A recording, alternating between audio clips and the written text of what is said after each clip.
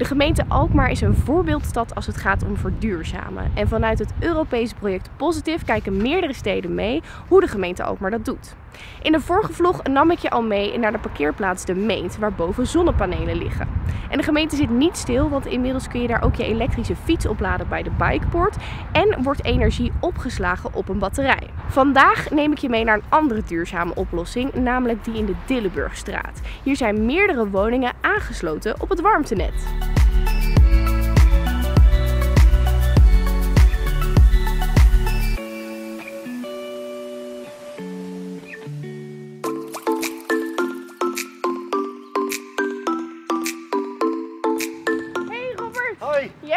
Zeker opgeladen bij de Meent. Ja, klopt helemaal. Ik ben heel erg benieuwd, waarom is voor de gemeente Alkmaar die verduurzaming nou zo belangrijk?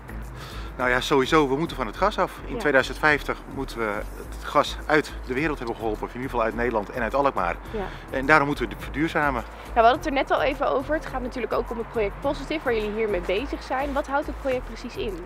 Ja, het project eh, Positive is eigenlijk een Europees project waarin wij eh, geholpen worden eh, en Alkmaar een voorbeeldrol heeft om te kijken hoe we kunnen verduurzamen. En we hopen eigenlijk in Europees verband dan een voorbeeld te kunnen zijn waar andere steden weer van kunnen leren. Ja. En is dat ook wat het zo speciaal maakt? Het allermooiste is eigenlijk dat als andere steden het gaan kopiëren Ja. en kunnen overnemen, zodat we eigenlijk een ja, soort sneeuwbaleffect kunnen creëren in Europa. En als ik meer zou willen weten over hoe dat warmtenet precies werkt, bij wie moet ik dan zijn?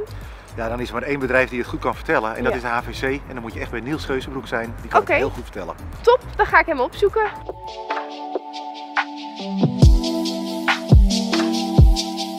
Niels, jij bent van HVC. Wat is jullie onderdeel binnen dit project?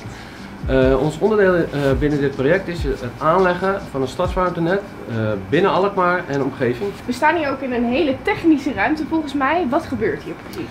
Ehm, hier komen eigenlijk de leidingen, de primaire leidingen vanaf de eh, bio-energiecentrale eh, komen hier eigenlijk binnen. Ja, En hier vindt eigenlijk een soort van warmteoverdracht plaats Mhm. tussen primair en secundair.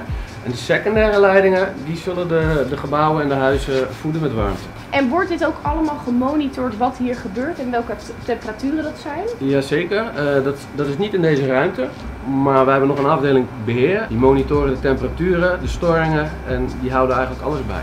En die gegevens kunnen dan weer Europees gedeeld worden.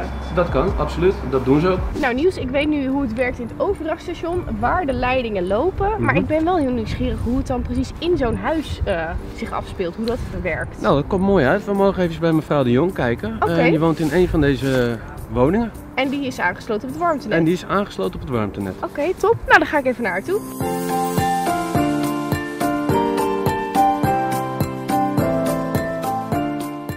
Voorheen had u hier natuurlijk een cv-ketel Ja. hangen. Ja, Eh, wat is er allemaal vervangen in het huis? Wat is er nieuw? enkel is dit nieuw.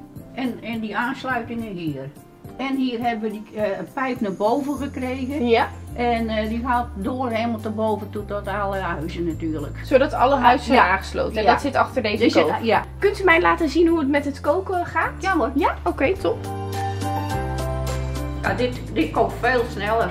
Ja, gaat het veel ja, absoluut. Ja hoor. Heerlijk gewoon. fijn. We zi- zijn er ook heel blij mee met alles. Ja? Dus ja, echt waar hoor. En, en hoe zijn de werkzaamheden geweest? Hebben jullie er veel last van gehad Nee, of hoor. ging het vloeiend? Ging, ging fantastisch. Echt hoor. En keurig netjes hebben ze alles gedaan.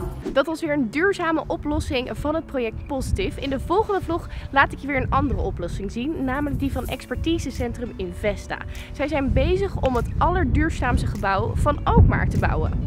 Wil je in de tussentijd meer weten over de projecten of de plannen? Ga dan voor meer informatie naar de website.